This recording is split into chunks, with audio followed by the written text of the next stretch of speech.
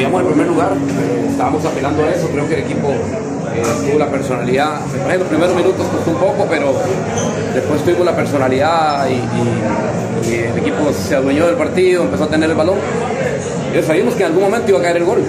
Y bueno, gracias a Dios entró y, y aseguramos el primer lugar, que era lo que queríamos. Le costó abrir el marcador, fue pese a la victoria. Sí, es que Honduras es un equipo muy fuerte, es un equipo que se cierra bien, que se arma bien con el 4-4-2.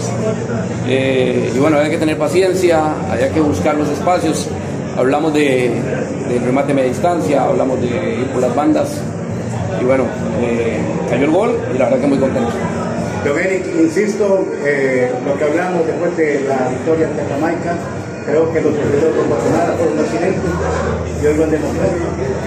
Sí, vamos a ver, el partido con Guatemala fue muy bueno. Eh, lo que pasa es que, claro, perdemos y evidentemente pues se ve todo como que está nubloso, pero nosotros hablamos con los muchachos después del partido, de que habíamos hecho un buen juego, de que habíamos dominado el partido y que eh, no supimos finalizar las jugadas. Creo que después de eso el equipo recuperó el orden, un equipo más, más compacto. Y, y bueno, hoy tuvimos todo el peso del partido otra vez. Eh, tuvimos un poquito más de cuidado en defensa y sabíamos que el gol iba a caer en cualquier momento. ¿Le da confianza a terminar en primer lugar, profesor? ¿Perdón? ¿Le da confianza a terminar en primer lugar del grupo? Sí, claro, eh, es lo que buscábamos, principalmente porque estamos tratando de recuperar la confianza con los muchachos.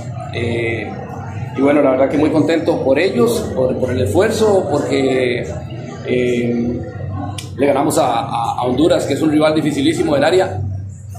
Y pues evidentemente ganar el grupo para nosotros eh, no solo nos da confianza, sino mucha satisfacción del trabajo que estamos haciendo. ¿A quién se le antoja en semifinales?